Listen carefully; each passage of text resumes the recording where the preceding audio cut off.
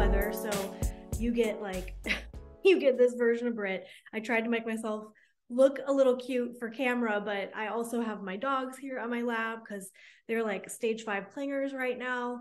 And I'm just making it work. And one of the reasons, one of the heartbeats behind this YouTube and behind this entire midweek motivation series was really I wanted you to feel like you were on journey with me, that I took you in real time through things that I was navigating, through things that I am navigating, and just helping you move with me through any areas where you feel like you can relate. So today's a topic that when I pulled my audience on Instagram when I was getting ready to start this whole like thing, right?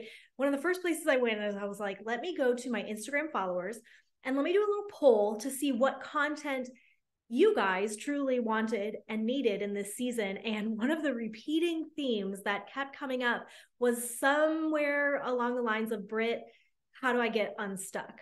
Whether it was like, you know, I'm in a slump, I'm not feeling motivated, I feel stuck, I'm in a rut, like anything of that sort. And for me, I was like, I wrote that one down on a sticky note and underlined it like 17 times because I get this. I vibe with this topic because I've often felt stuck myself. Being stuck can look different. Um, it could be a morning where you just can't find the motivation to do much of anything. And it could be an entire season where things just feel off or out of alignment and you don't really know which way to go. And I've been in both sorts of seasons. In fact, real time, real truth this morning I was in such a stuck mess, in such a stuck rut. So I feel like this is super relevant. And I'm literally speaking to you from the trenches of things that I do when I feel stuck.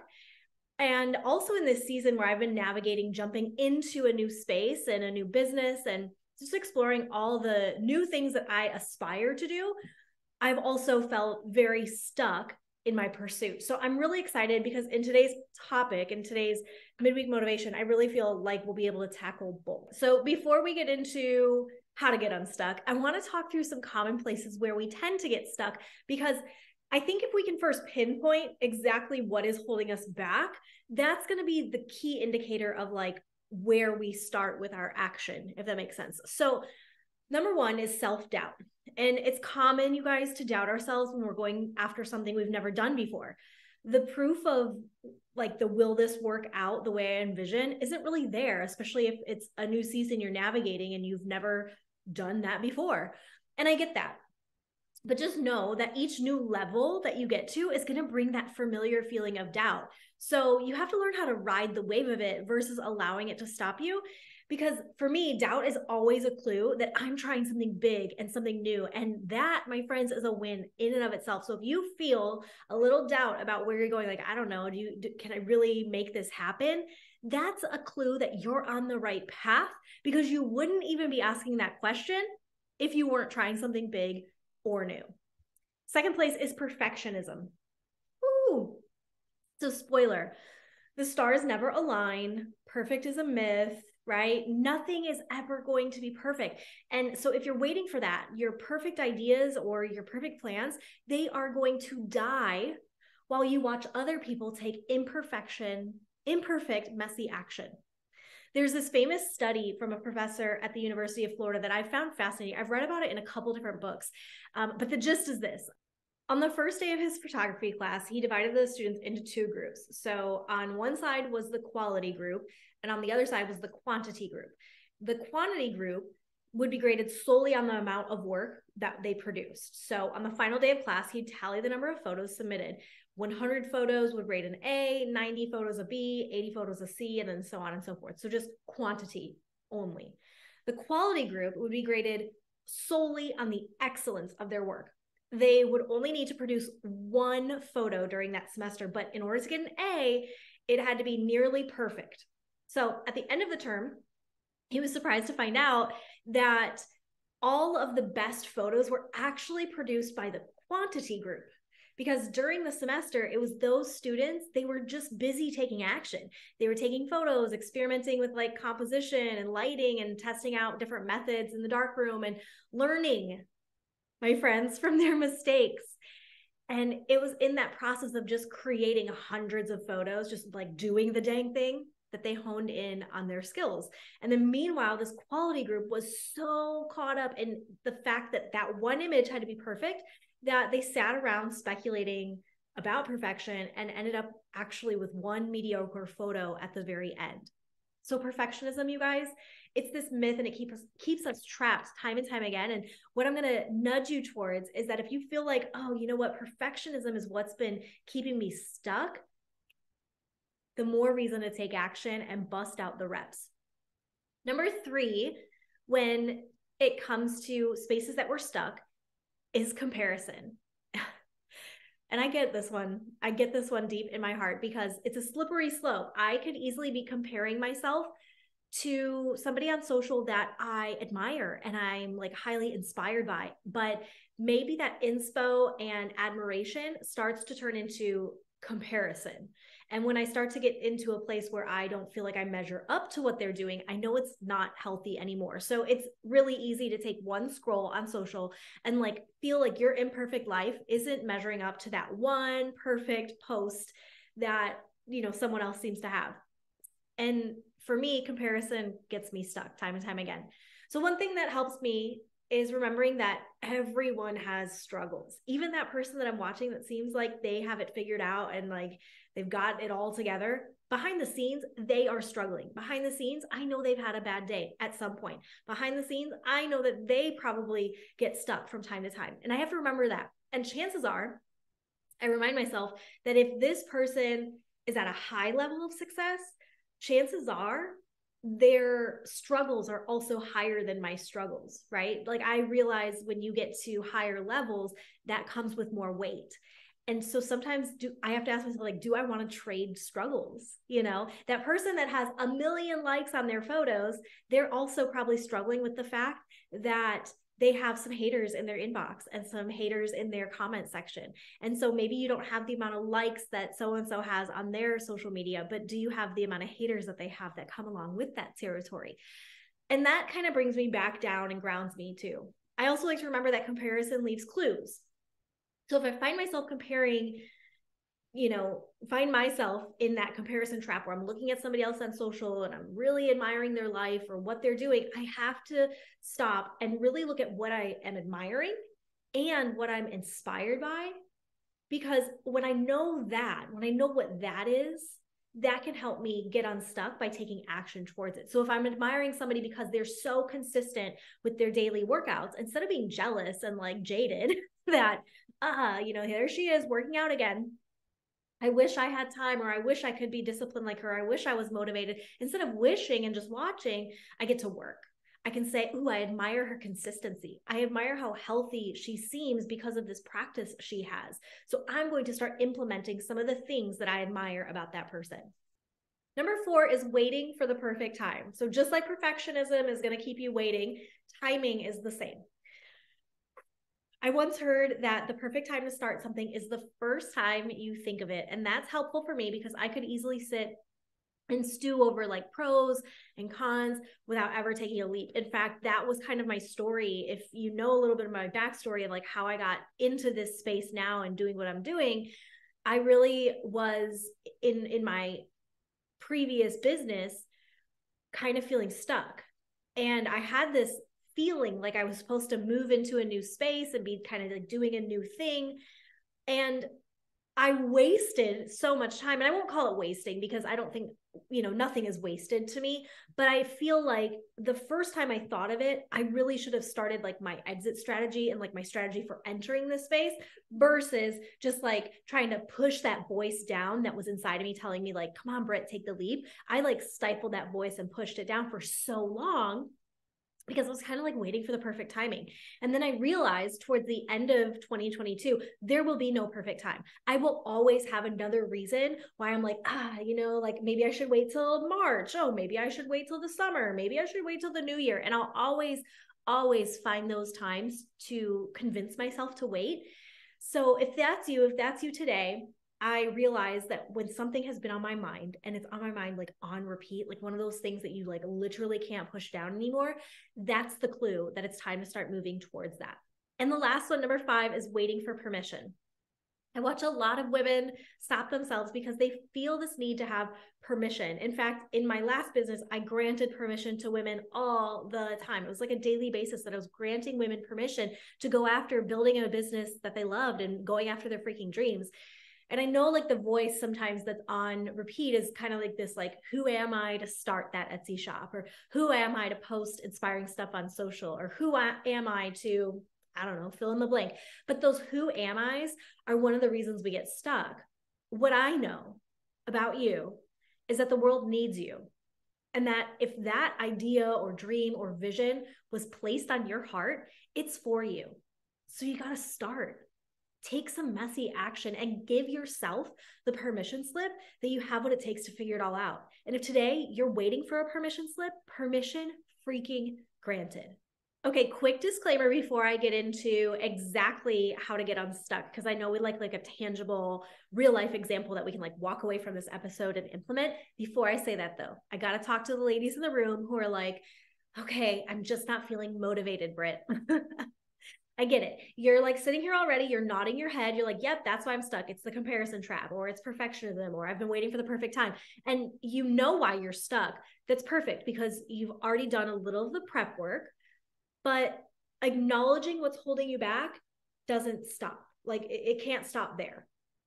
One of the things we often wait for after we've acknowledged, like, okay, comparison's holding me back, or I've been held back in this trap of, you know, self doubt. But then we wait for this sweep of motivation to come in and save us. That whole, I swear, once I'm motivated, then I'll get unstuck. I know why I'm stuck, but now I got to get motivated to get unstuck. So you like buy all the planners, you buy all the journals, you go like buy the new workout outfit. You like wait for the permission of motivation to come in.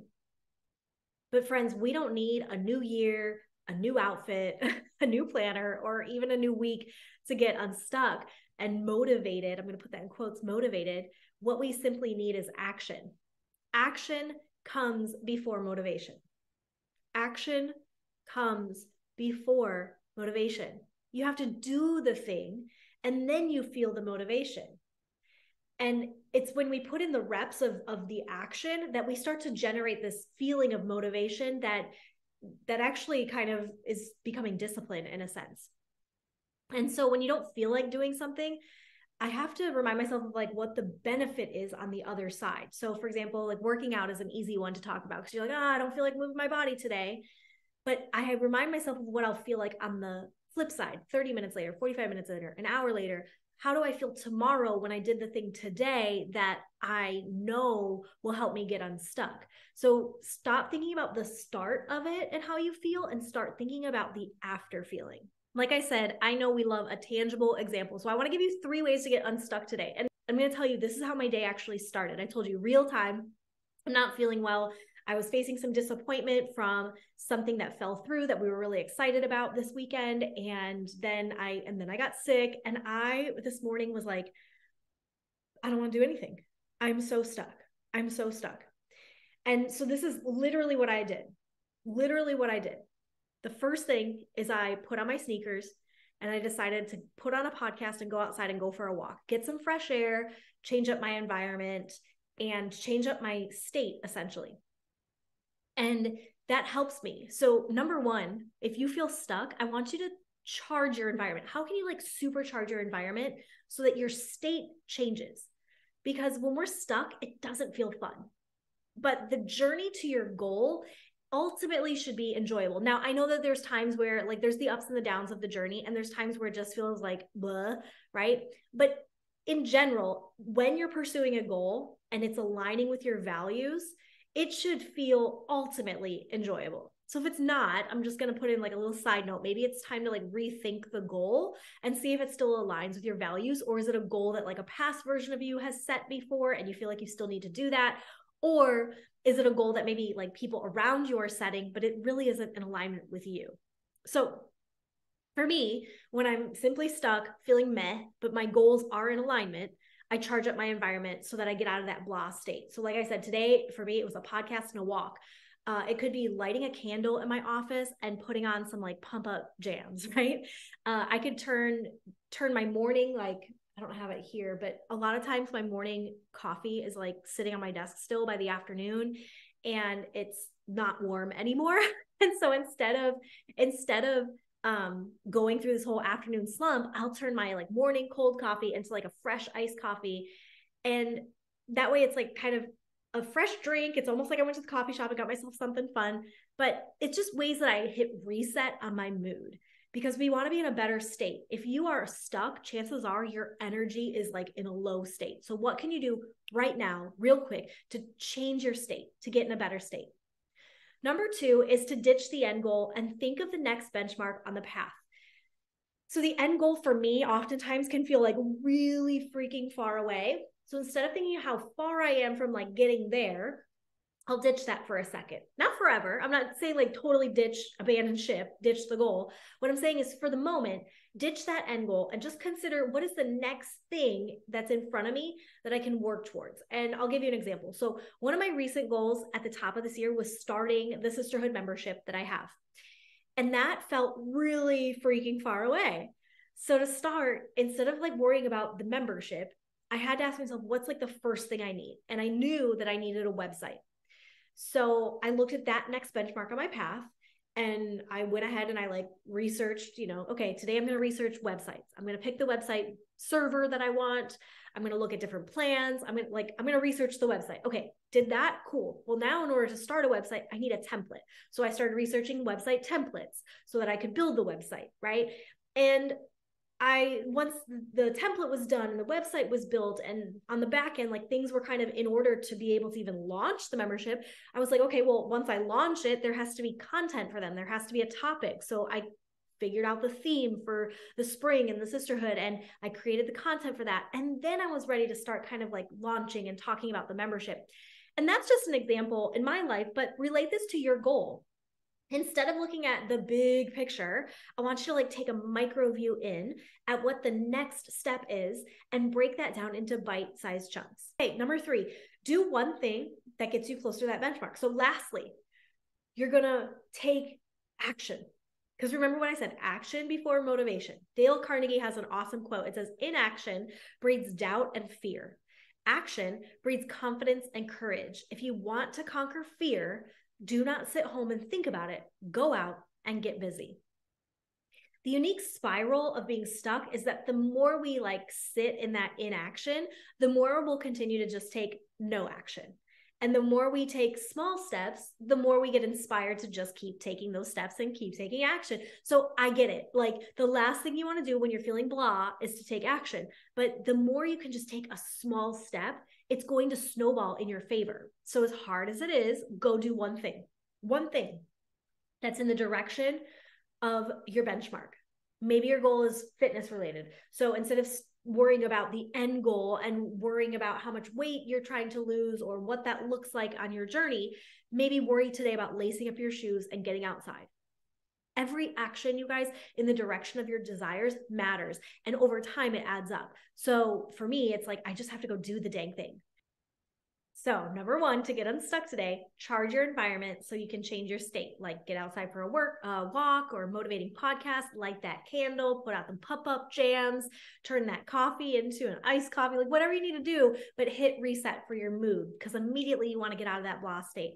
Number two, ditch the end goal think of the next right thing in front of you. And then number three, go do that thing.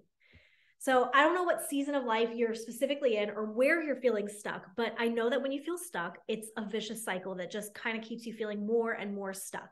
So whether it's doubting, you know, whether it's doubting you you have what it takes, getting caught up in that perfection trap, maybe comparing yourself to others who are where you desire to go, or you're simply just waiting for that perfect time or per- permission to be granted. I just want you to know that it's normal to have those days or go through those seasons. Like you guys, I'm here 10 years plus on my coaching journey. And the three steps that I'm giving you today are literally what I followed to help me get out of a little rut that I was in this morning. So it's normal. That's that is the human experience to have these highs and these lows. And to me, it's an indicator that you have ideas and that you're trying. If you didn't have ideas and you weren't trying, you wouldn't feel stuck. We feel stuck because we're onto something. So I don't want you to be one of those women who gets stopped when you get stuck because you and those dreams that are on your heart are worth it to move through the stuck and into action. And I hope today gave you some tangible ways on how you can make that happen. You guys, I'm forever and always rooting for you. I hope this quick episode helped. Make sure that you let me know in the comments below uh, what stood out to you. What is something that was keeping you stuck? And what is the action that you're taking today? Share this with some friends, hit subscribe. And if you need more resources, you can absolutely check out the link below to snag some free trackers um, just to help you kind of you know, work towards those goals and what matters most to keep yourself accountable towards the things that are on your heart because the world needs those ideas that were laid on your heart. And so go ahead and click that link and snag all those. And if the sisterhood membership is something that you're interested in, keep your eyes peeled because later this month, I will be opening up enrollment for our summer 2023 session. I'll give all the info and details about what our theme is. I've got that prepping behind the scenes. I'm super excited about it. But if you are a hardworking, purpose driven woman with woman, woman, which I think you are if you are tuning in, um, this is the community for you because it's where I'm going to remind you that your goals matter, that the work that you want to go out into the world matters, but it also matters that you take care of yourself in pursuit of those. So that's coming later this this month too. Just keep your eyes peeled and I'll put the link below if you want to get on the wait list for that. And you guys, I hope that again, today's midweek motivation really helped you with some tangible ways and I can't wait to chat same time, same place next week. Have a great week, you guys.